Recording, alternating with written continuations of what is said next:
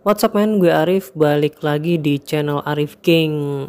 Dan kali ini kita bakal ngadu spek antara dua oli samping yang punya rentang harga yang sama dan dapat ulasan positif dari channel ini teman-teman yaitu Idemitsu 2T versus Orange Racing 2T full synthetic. Oke langsung aja kita masuk ke pembahasannya teman-teman Masing-masing oli ini punya harga di kisaran 50.000 sampai 60 ribuan. Dan untuk Orange Racing 2T itu rentang harganya 55 sampai 70 ribuan. Tergantung di mana kita belinya. Kalau di bengkel biasanya harganya bakalan beda jauh daripada harga online-nya. Walaupun harga Orange Racing 2T lebih mahal, tapi Idemitsu punya isi 800 mili sedangkan Orange Racing hanya 700 mili. Artinya Idemitsu lebih banyak 100 mili daripada Orange Racing.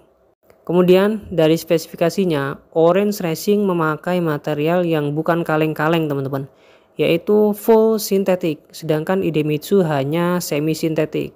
Material full sintetik ini jarang banget dipakai di oli-oli dengan harga di bawah 70.000. Jadi menurut gue ini bener-bener satu poin yang bisa diandalkan banget dari Orange Racing 2T ini men.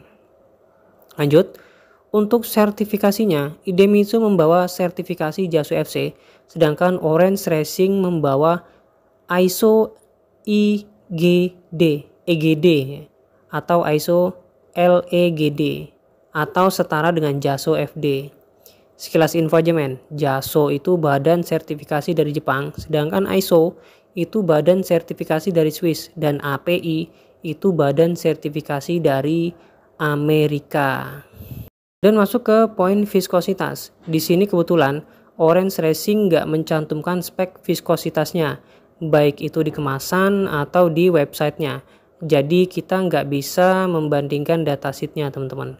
Berbeda dengan Idemitsu yang datasheetnya itu lengkap banget dan itu merupakan satu poin yang positif menurut gue. Kemudian, untuk ketersediaan barang, Idemitsu juga jauh lebih unggul karena Idemitsu itu hampir bisa gue temuin di setiap bengkel yang gue datengin. Dengan kata lain, all ini mudah banget untuk dibeli. Sedangkan untuk Orange Racing 2T, untuk sementara ini yang gue tahu hanya tersedia di online shop. Masuk ke poin 9, 10, dan 12. Sebenarnya di poin ini yang terjadi bisa berbeda-beda men karena settingan kondisi mesin masing-masing joki itu berbeda-beda. Jadi ini gue kasih kesimpulan dari apa yang gue alami aja ya men. Untuk efisiensi jelas Idemitsu lebih terasa awet karena memang volumenya lebih banyak 100 mili. Dan untuk asapnya ini agak aneh juga men. Di mana Idemitsu itu makin panas memang semakin bersih.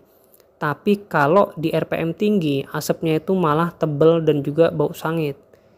Nah, berbeda dengan Orange Racing 2T. Memang saat mesin makin panas asapnya makin tipis, walaupun nggak setipis dan sebersih Idemitsu.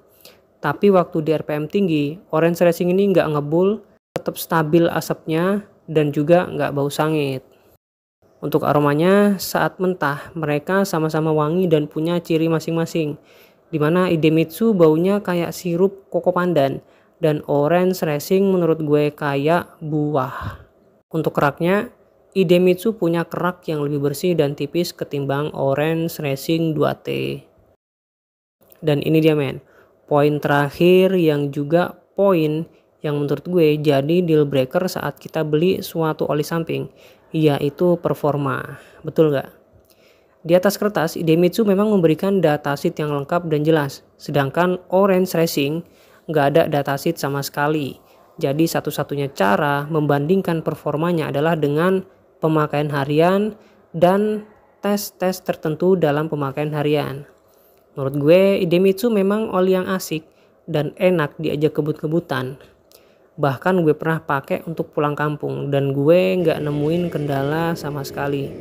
Tapi setelah gue pakai Orange Racing 2T, gue punya kesimpulan kalau oli ini punya kelas berbeda dari oli lain dengan kelas harga yang sama men olinya memang gak liar kayak Idemitsu tapi gue bisa ngerasain tarikan yang bener-bener enteng dari saat mesin dingin sampai reading berjam-jam pun nggak ada penurunan performa sama sekali. Asapnya nggak ngebul, nggak bau sangit, RPM stabil, suara tetap adem, dan lain-lain. Bahkan untuk oli di bawah 100 ribuan, gue masih sangat merekomendasikan Orange Racing ini untuk kalian beli teman-teman. Oke, gitu poin-poin yang gue sampaikan teman-teman. Barangkali ada koreksi atau punya pendapat yang berbeda, boleh tulis aja di kolom komentar. Nanti kita diskusikan kayak biasanya teman-teman.